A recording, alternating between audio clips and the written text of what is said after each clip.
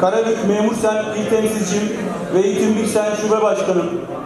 Sayın Ve iki tane baba konuyu 3600 ek gösterge ve sözleşmeler konusunu da masada karara dönüştürerek 2022 yılı içerisinde yetkili konfederasyonda çalışılarak tamamlanacaktır diyerek kayıt altına aldık ki bu son derece tarihi bir şey çünkü bizim bundan önceki tüm masalara götürdüğümüzde sizin yetkinizde değil bu konu.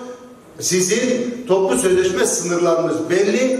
Bu sınırlarınızı aşan bir talep bunu burada görüşemeyiz.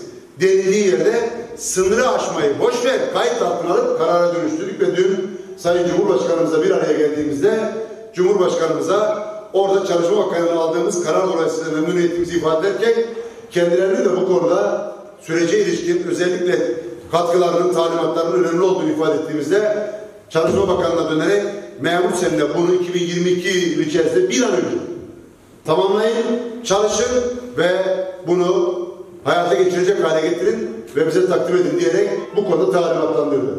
Önemli bir kazanımı bu süreçte oluşturma fırsatı önümüzde otoban gibi açıldı.